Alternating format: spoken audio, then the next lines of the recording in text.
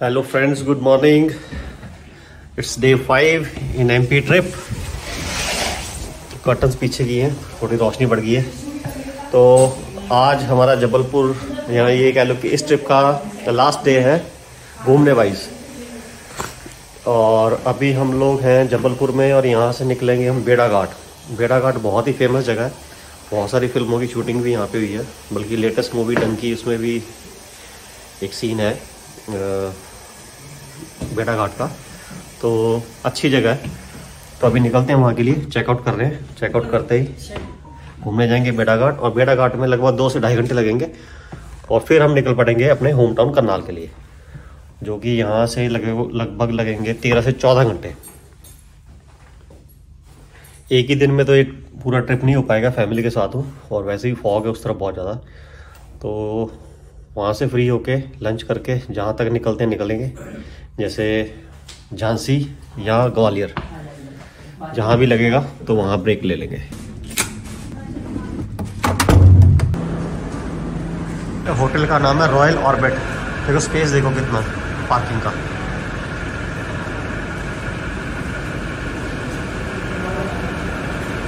ये अपनी गाड़ी। कोल्ड स्टार्ट पे लगाया है।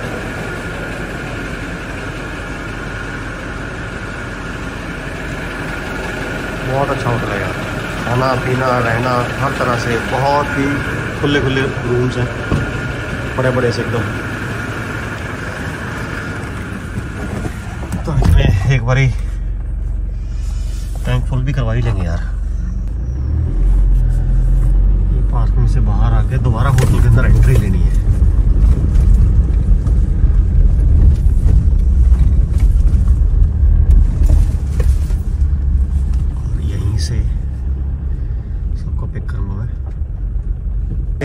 कार वॉशिंग वाले मिले हैं। तो यार गाड़ी को ना एक बार बाहर बाहर से वॉश करवा लीजिए हालात बहुत ख़राब है स्पेशली आगे से। रोड बहुत ख़राब है एक्चुअली एक्चुअली क्या ना हाँ लगे हुए एक्चुअली क्या ना, जब अगर गाड़ी में कहीं पे हाथ लगाने से, दरवाज़ा खोलने बंद करने से, कपड़े गंदे हो रहे हो, हाथ गंदे हो रहे हो, फिर तो वॉशिंग करानी पड़ेगी यार अदरवाइज़ चल जाता है। तो आई थिंक 10 से 15 मिनट लगेंगे और गाड़ी कम कम हो जाएगी और फिर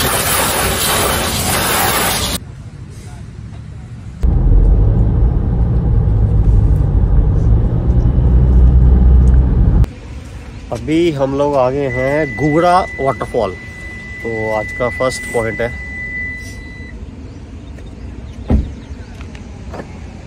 तो ये आज का फ़र्स्ट पॉइंट है।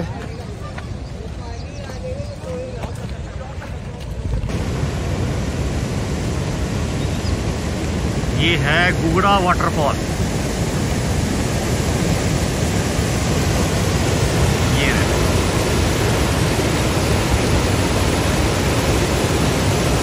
ये और नज़दीक से वाटरफॉल का ये एक्चुअली नर्मदा नदी है और नर्मदा का ही सारा ये पानी है ये हम पहुँच गए हैं बेड़ा घाट, जो मेन अट्रैक्शन है यहाँ का जी, ये आ गया धुआंधार वाटरफॉल तो यहाँ पे एक घाट बना हुआ है। लोग यहाँ पे स्नान भी करते हैं। जैसा तो मैंने बताया था कि इस नदी को, जैसे गंगा है हमारे लिए उधर रॉक में तो इनके लिए ये है। तो इतना ज़्यादा पवित्र और शुद्ध मानते हैं इसको। इसलिए यहाँ पे आके स्नान करते अब आता है मेन अट्रैक्शन मेन जगह। कोई कहा गया कि ये जैसा भी गए थे वैसा ही है। और अब देखो आप।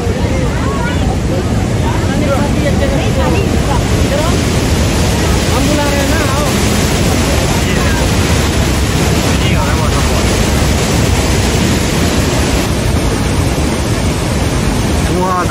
वाटरफॉल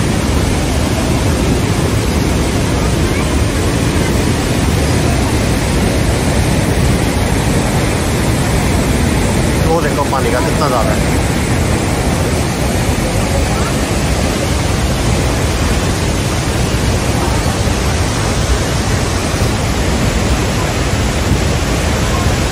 यहाँ पे ना दो तरह की पार्किंग बनी हुई है। एक तो जो अपर रोड है उसके ऊपर है पार्किंग जहाँ से ट्रॉली चलती है। ट्रॉली और एक थोड़ा नीचे आके भी पार्किंग है। तो ज़्यादा डिस्टेंस नहीं है आप हाँ। ऊपर भी खड़ी कर सकते हो गाड़ी। लेकिन हम नीचे ले आए कि पैदल कम चलना पड़े। तो उसमें क्या दो सौ रुपये की एक एंट्री फ़ीस लगती है गेट के ऊपर? अभी दिखाऊँगा मैं आपको। ऊपर खड़ी करोगे तो आई थिंक पचास एक रुपये लगेंगे।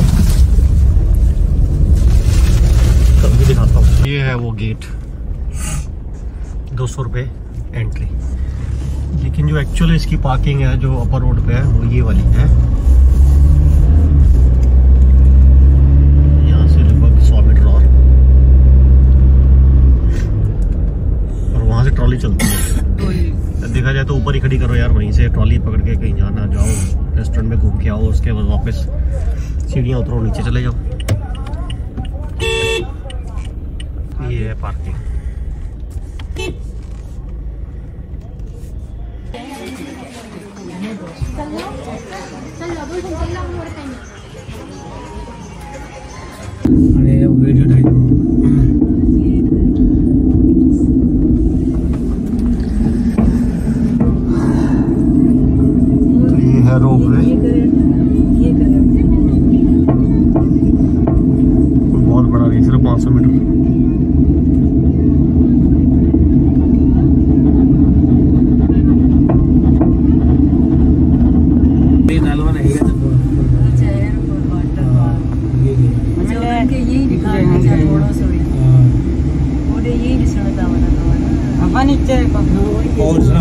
घुमाने का बोल रहे हैं कि इस गाड़ी में जाओ ये ओपन टाइप की है। अगर इसमें जाएँगे तो ये लेते हैं साढ़े पाँच सौ रुपये घुमा फिरा के फिर यही ले आते हैं ये देखो। ये नैनो रखी है इन्होंने। हाँ? हम लोग जा रहे हैं गाड़ी से एक जो भी मैंने थोड़ी देर पहले एक गाड़ी दिखाई ओपन। ओपन क्या कटी हुई गाड़ी? Open Nano. जैसे ओपन जीप होती है यहाँ पे ओपन नैनो है। तो ओपन नैनो में ये थ्री पॉइंट्स बता रहे हैं कोई pink marble white marble India का नक्शा पता नहीं क्या क्या बोल रहे हैं। तो वो देखने जा रहे हैं आधे घंटे का टाइम बोल रहा है इन्होंने कि इतना ही लगेगा टाइम तो निकलते हैं देखते हैं फिर आगे जाके।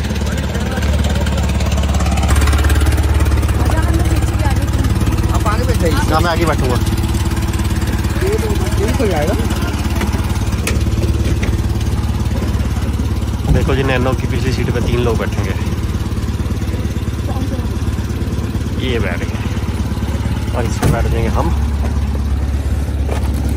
अरे वाह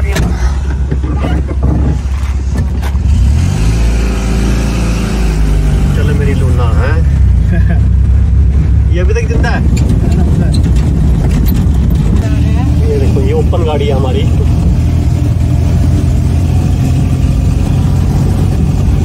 हम लोग जा रहे हैं बेटा घूमने। सामने जो पेड़ दिख रहा है वहाँ से जो मार्बल का जॉइंट बना हुआ है हाँ। ये जॉइंट के पीछे का मार्बल पिंक होता गुलाबी कलर का देखिएगा उधर का अच्छा और ये वाला जो जॉइंट आगे वाला दिख रहा है उसके हाँ। इस साइड का मार्बल आगे का ये। पूरा व्हाइट होता है हाँ। ये दो प्रकार का मार्बल यहाँ देखने मिलता है पिंक और वाइट और पानी के अंदर गहराई 30 से 40 फीट है अभी भी पानी के अंदर। अच्छा। और पानी इसमें हमेशा रहता है जहाँ से वो लाइन दिख रही ना काली काली हाँ। उतना पानी गर्मी की टाइम तक रहता है इस नदी में। इससे कम नहीं होता कोई वजह हो जाती है तो डैम से पानी कम कर दिया जाता है। हाँ, और बरसात में जब तेज पानी गिरता है हाँ। और बरगी डैम में एक्स्ट्रा पानी होने के कारण उन लोग इक्कीस गेट खोलते हैं हाँ। तो ये पहाड़ पूरा डूब जाता है इस रेलिंग पे पानी आ जाता है। क्या बात कर रहे हो? पूरा पानी से ये भर जाता है सर। मार्बल एक भी नहीं दिखता पानी के अलावा। पानी पानी ही दिखता है। मतलब इस टाइम हम ज़्यादा नहीं से दो सौ फुट ऊपर खड़े हैं। जी।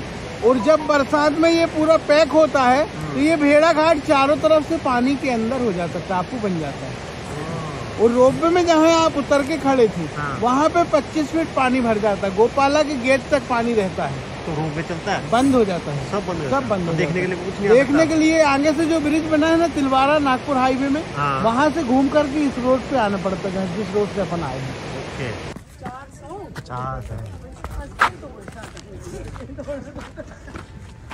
तो ये खड़ी अपनी लाल परी।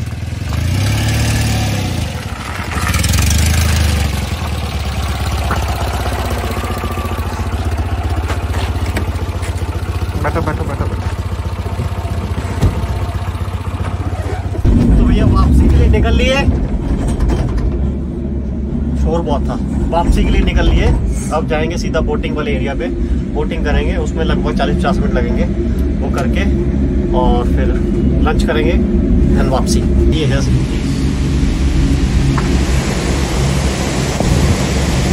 ये इंजॉय करने के लिए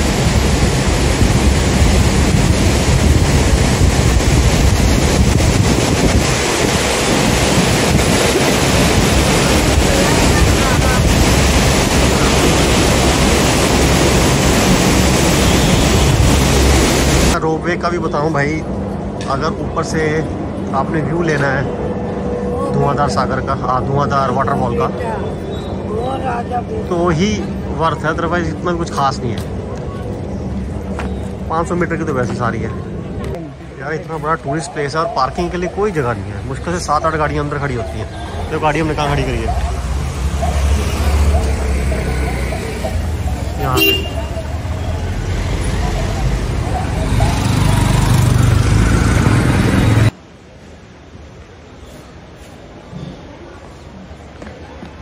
तो ये टिकट मिली है फिफ्टी रुपीज़ पर हेड जाने आने की।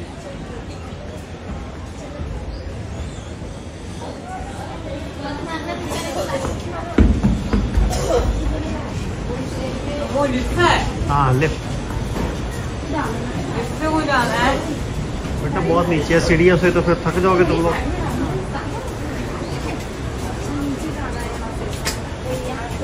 पंद्रह सौ रुपये में हमने ये बोट करी है।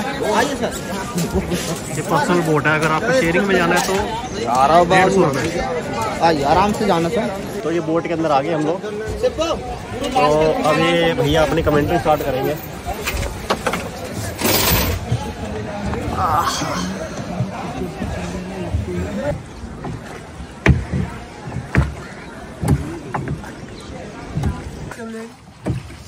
मानते हो तो प्रेम से जोड़िए हाथ। ये बैठे भोलेनाथ बोलिए शंकर भगवान की। जय। जो नहीं जोड़ता हाथ तो बाहर आ जाते हैं दांत।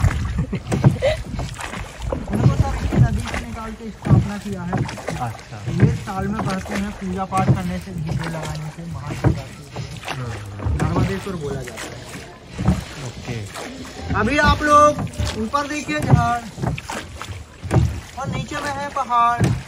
आप लोग कर रहे हैं नौका विहार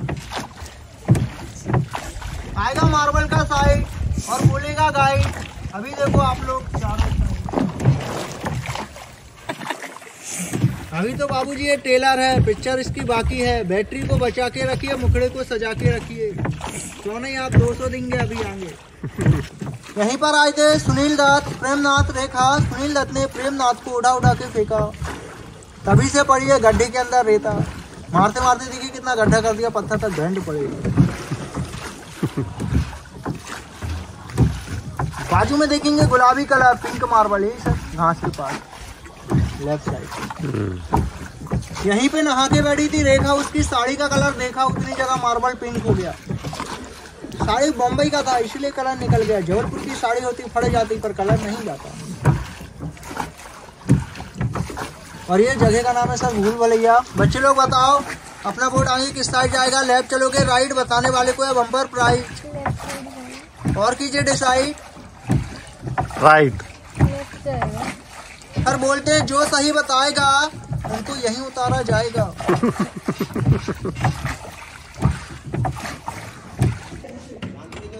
ये है मेन ब्यूटी हाँ सर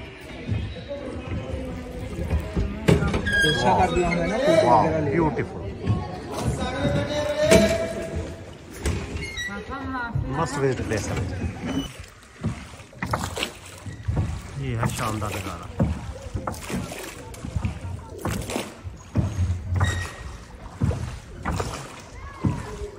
ये बच्चे कूदेंगे यहाँ से।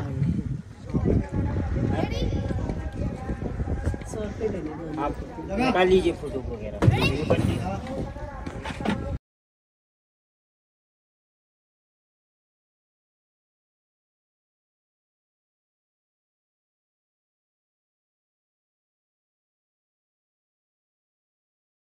सौ पचास आजा आजा आजा। दो सौ ए। खतरनाक हो ओ मॉर्निंग ये पहुँच गए हम लोग वापस। सेवेंटी परसेंट का रास्ता वापस आ गए हम लोग। ये पत्थर आपको दिख रहे होंगे येलो वाइट ब्लैक गोल्डन और सामने देखो एकदम स्काई ब्लू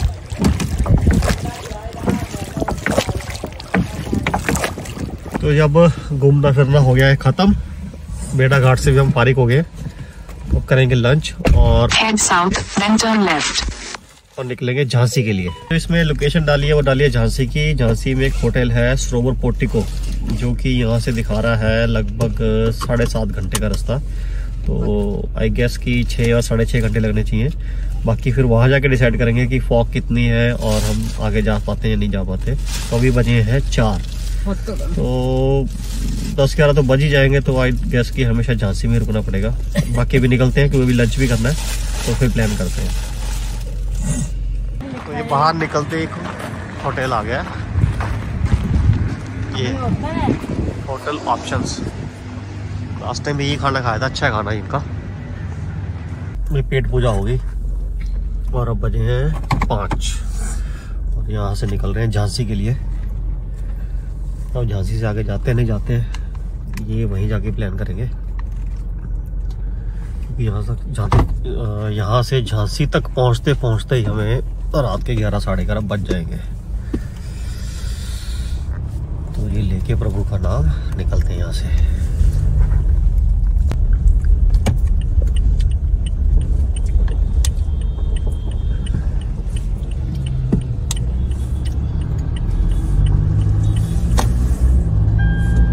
पे देखो जी इन्हीं का राज है।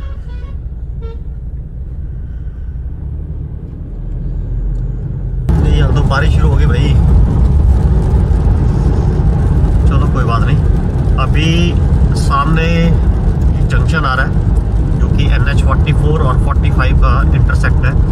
यानी कि अभी हम एन एच फोर्टी फाइव पे, इसको हम छोड़ देंगे और एन एच फोर्टी फोर को ज्वाइन करेंगे। एन एच फोर्टी फोर जैसा मैंने पहले बताया था पिछले ब्लॉग में, ये है इंडिया का सबसे बड़ा हाईवे लॉन्गेस्ट हाईवे है ये, जो कि श्रीनगर से चल के कन्याकुमारी तक है। और यही जो हाईवे है, वो हमारे होम टाउन को भी कनेक्ट करता है, करनाल को।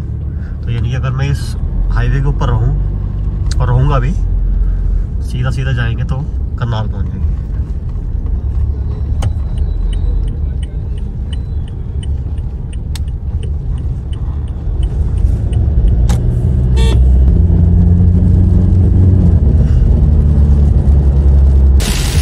इस बारिश ने तो ही दिया